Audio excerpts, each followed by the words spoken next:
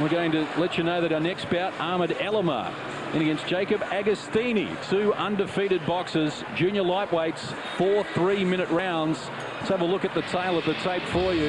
And as you can see there, Slight edge in reach is going to be with Agostini, some six centimetres or two inches in the old language. He's a little taller as well, and both men have come in under the 58.96 junior lightweight limit, or 9 stone 4, 130 pounds in the old language. So this should be a good one.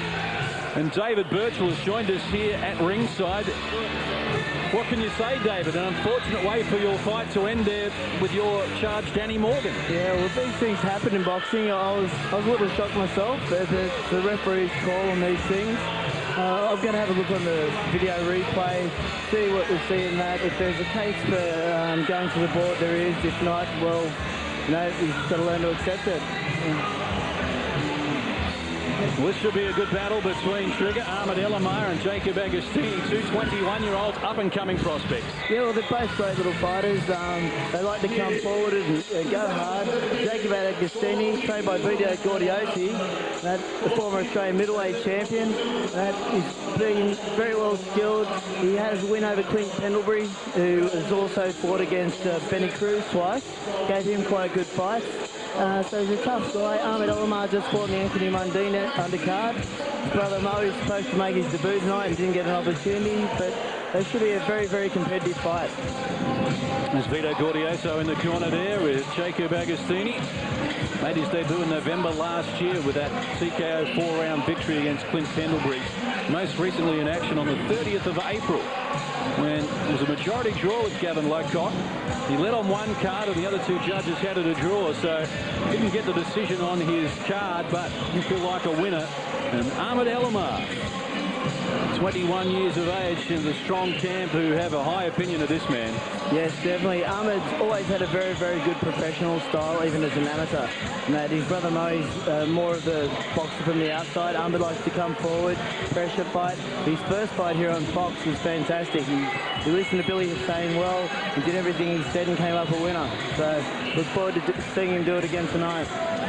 Great amateur record, three-time Australian runner-up, four-time state champion in New South Wales, and backing up after his TKO third-round victory against Binu Singh on the 5th of May. So he is ready to go, looking to build an impressive career here. Gary Dean will do the honours, and Andy Raymond can tell us a little bit more.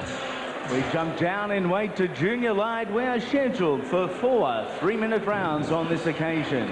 Introducing first and representing the red corner, he hails from Wollongong, New South Wales. Two fights, one win, that win via way of knockout.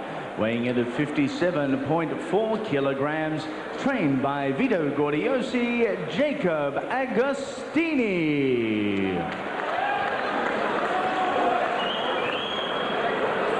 Fighting out of the blue corner, he is from Denham Court, New South Wales, trained by Billy Hussein at the Prize Fighter Academy weighing in at an even 58 kilograms.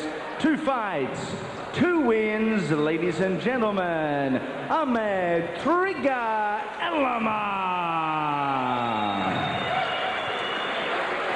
And your referee for this contest is Mr. Gary Dean, your judges at ringside, Brian McMahon, Trevor Christian, and Mr. Don Marks.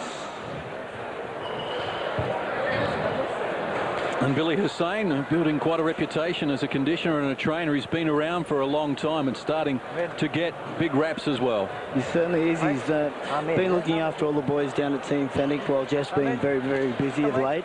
And it's good to see uh, Tommy McCurry in the corner. He's normally over there with Vito Gordiosi. He's, uh, he's changed camps himself.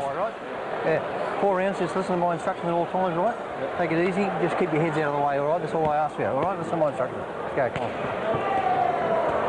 So our second event of the evening ready to go. Jacob Agostini, aggro to his friends.